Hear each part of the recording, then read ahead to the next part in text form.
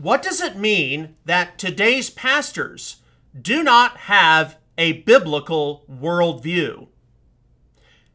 There's a poll that uh, is circulating right now that is gaining substantial attention in various, uh, certainly evangelical uh, quarters. And there are a few messianic people who I have noted who've picked up on this as well. A link to this is in the description. Now, I did not take this survey. However, the essential summary of this survey is this.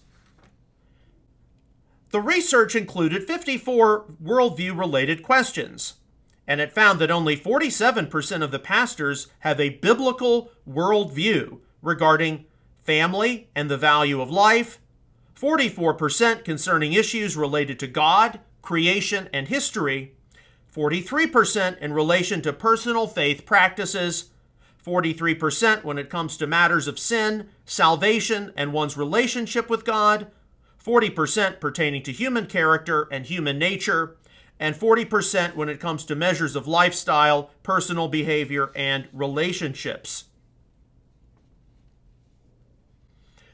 Now, when you see these kinds of things listed with all these various factors, the challenge, regardless of who is putting out the survey, regardless of what the specific inquiries are or conclusions drawn are, is that what is biblical to one person or one group is non biblical to another.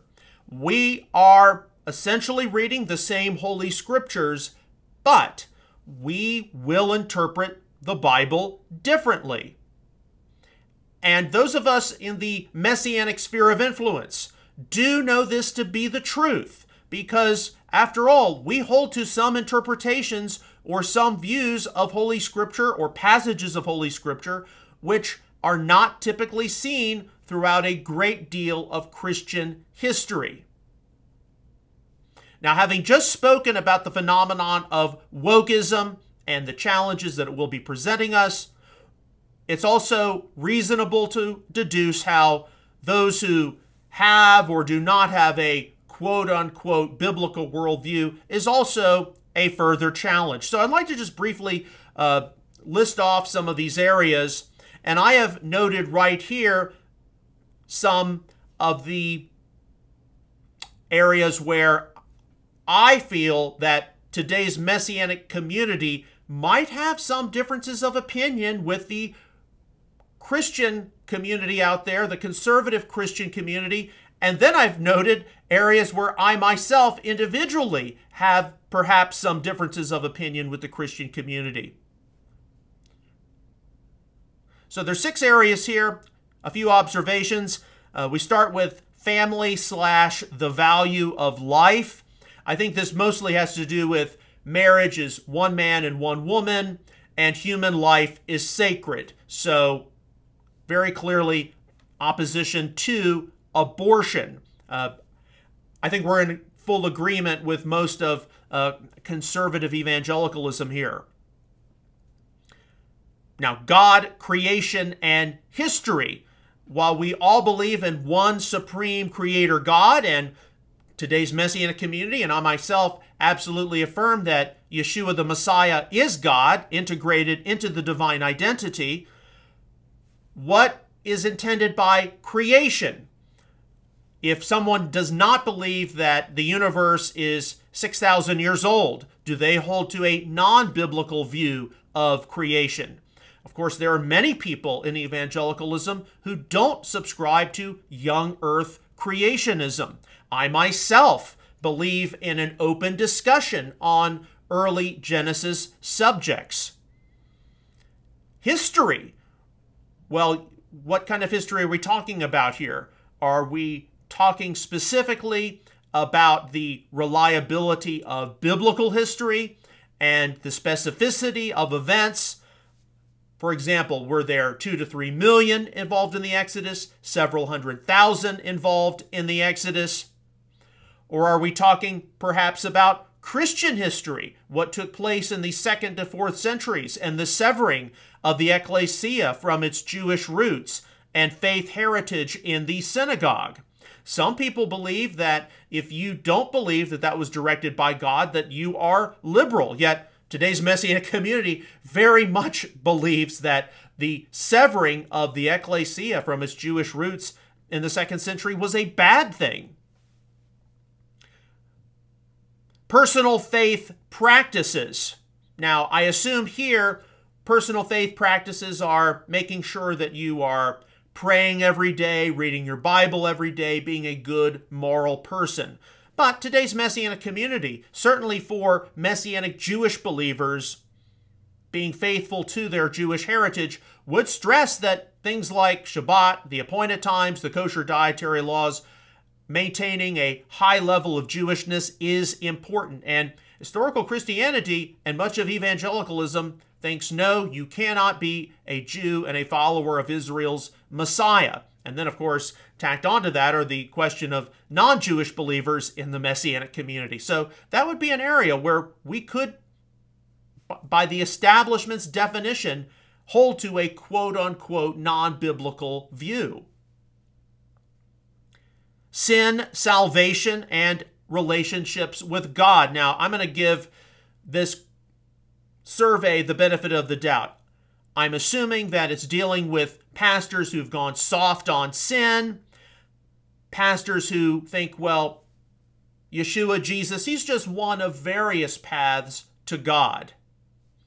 So I'm, I'm assuming it's more on that side than, look, sin is defined by whether you follow or do not follow God's commandments. Salvation is found in Israel's Messiah. I'm assuming it's more on the classical liberal side that uh, the questions are dealing with it. Okay, uh, human character and human nature. This is actually an area where I suspect that I personally I'm going to have a few differences from those who hold to a quote unquote biblical worldview in this uh, survey here. And this is actually an area where the Messianic community and I generally have had a disagreement over the years. Now, when it comes to human nature, yes, I believe that they create that God created humans male and female, and that there are differences between men and women based on their reproductive anatomy. But there are Christian people out there who believe that women are less intelligent than men that men are logical and rational and women are emotional and unstable. I don't believe that. Uh, I believe that God created men and women as equals and that his intention for Adam and Eve was for them to equally rule over the Garden of Eden together. Uh, so, as someone who holds to an egalitarian worldview of men and women as co leaders, I do have some differences with a great deal of conservative evangelicalism. Uh, and yes, I have some differences with my own faith community as well. And then finally, lifestyle, personal behavior, and relationships. I have a feeling this has to do more with how conservative evangelicals look at the world at large, wokeism, uh, as they deal with people succumbing to society. So there would be areas of agreement that we have as Messianic people that I have with those who are stressing a quote unquote biblical worldview, but at the same time, in areas of lifestyle. Certainly, today's Messianic Jewish movement believes that Messianic Jews need to live as Jews in association with the Jewish community and in support of the state of Israel. That's not something that you see in a great deal of evangelicalism today. Uh, now, personal behavior, I would stress that we all believe that you need to pray, you need to read your Bibles, you need to follow biblical morality. All right. And then relationships, as it concerns men and women, perhaps in the body of Messiah. Of course, there's a huge spectrum of debates as they concern dating and courting and marriage and who leads and who follows or both lead, you know, the complementary and egalitarian debates again. Um, this is where I personally have differences with a wide number of conservative evangelicals, although there are conservative evangelical egalitarians who believe, once again, in co leadership of men and women, in the home, co leadership of men and women in the body of Messiah. So these are just a few things I wanted to summarize for you. Uh, obviously, we could have teaching sessions on each one of these points, and we will. So uh, don't be uh, distressed. He could he could have gone into more detail on this or more detail on that.